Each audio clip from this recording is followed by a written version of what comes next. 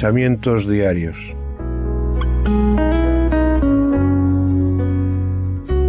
Sencillas pero profundas reflexiones para cada día de nuestras vidas. Meditaciones de la palabra de Dios nacidas de un corazón agradecido por su gracia y misericordia. Pensamientos diarios.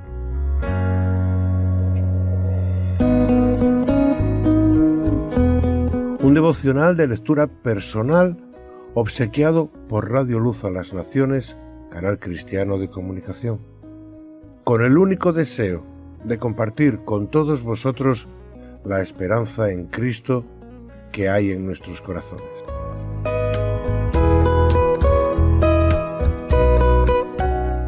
Amigos.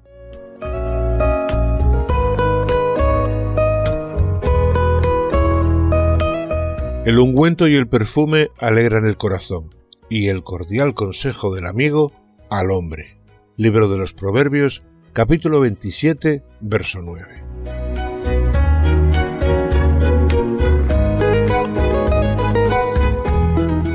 No hace mucho tiempo leía un artículo sobre los beneficios que los perfumes y las colonias tienen sobre el asunto del sueño. El artículo en cuestión decía que un suave y fresco olor a la hora de ir a la cama nos ayudará en gran manera a relajarnos y conciliar ese sueño que en ocasiones tarda en abrazarnos. ¿Y qué decir del hecho de recibir una palabra amable y gentil, del hecho de recibir por parte de un amigo un consejo cordial que busque añadir a nuestro corazón un poco de esa paz y de esa alegría de la que en ocasiones tan escasos andamos. Pero no tengo la intención de hablaros de colonias, perfumes o ningún tipo de cosméticas. No, mi intención es hablaros de los beneficios de ser y saberse amigo. Porque la amistad, como ya Dios nos lo hizo saber a través de su relación con Abraham o con la historia entre David y Jonatán es de gran estima. ¿Quién no recuerda con añoranza al amigo de la infancia o de la juventud? ¿Y quién no ha vivido con aquel amigo o amiga las oportunidades de ir descubriendo un mundo en el que cada día el fresco olor de la mañana era el presagio de una gran aventura? Los amigos, esa estirpe de héroes de barrio, ejemplo de generosos corazones que quién sabe por qué, nos escogieron para regalarnos lo mejor de sí mismos. Su confianza, su corazón, su incondicional apoyo, pero también sus temores, sus dificultades, sus deseos y sus debilidades. Nunca sabremos a ciencia cierta cuáles son los detonantes que hace que alguien nos escoja para algo tan valioso y especial como ser su amigo pero sabemos que la amistad es algo que el mismo Dios valora y tiene en alta estima, pues son muchas las citas bíblicas que podemos encontrar en las que es la propia palabra de Dios la que ensalza la amistad. El hombre que tiene amigos ha de mostrarse amigo, y amigo hay más unido que hermano. Esto lo podemos leer en el libro de los Proverbios, capítulo 18, verso 24. Sin embargo, en ocasiones por inmadurez o por egoísmo, o puede que por falta de amor o tal vez por la dureza de nuestro corazón o porque quizá nadie nos enseñó el valor de la verdadera amistad o la honestidad. Pero cuántas veces violamos la confianza que pusieron en nuestras manos aquellos que decidieron ser nuestros amigos? ¿Cuántas veces tuvimos la oportunidad de pedirlos perdón? Ahora bien, es en el Evangelio de Juan capítulo 15 verso 13 donde también podemos oír de boca de Jesús. Nadie tiene mayor amor que este, que uno ponga su vida por sus amigos. Aunque una de las citas tal vez más explícitas sobre la amistad que expresó el propio Jesús, la encontramos también en el Evangelio de Juan, en el capítulo 15, verso 15. Ya no os llamaré siervos, porque el siervo no sabe lo que hace su Señor. Pero os he llamado amigos, porque todas las cosas que oí de mi Padre os las he dado a conocer.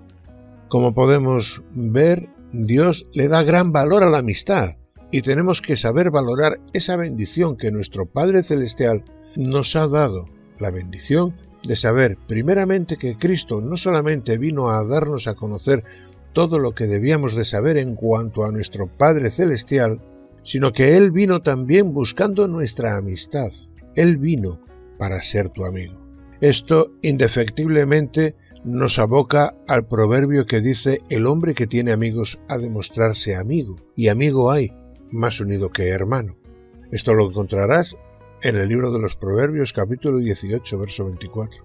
De nuevo es la propia palabra de Dios la que nos enseña cómo hemos de comportarnos y cómo ha de ser entendida la amistad. Amigo hay más unido que hermano. Pero, ¿sabemos en verdad ser amigo de nuestros amigos?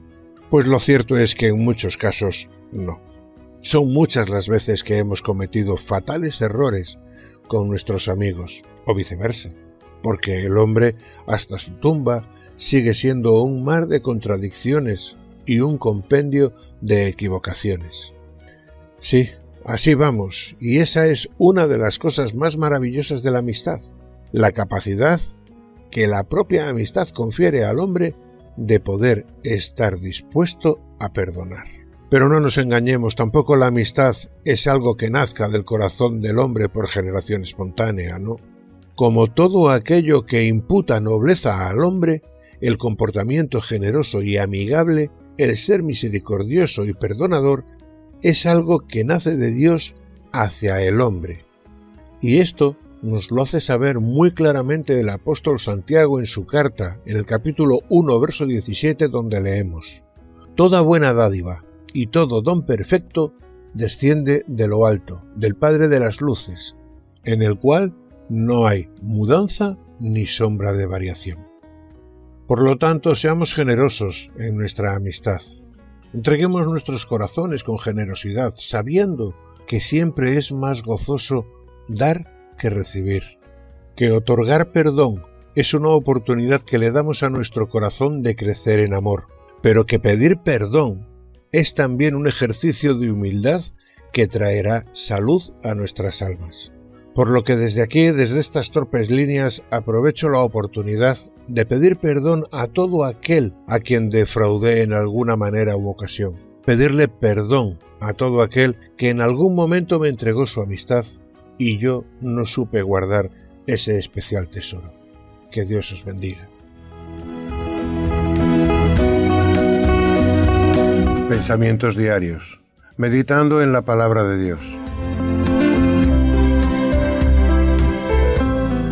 Santificad a Dios el Señor en vuestros corazones, y estad siempre preparados para presentar defensa con mansedumbre y reverencia ante todo el que demande razón de la esperanza que hay en vosotros.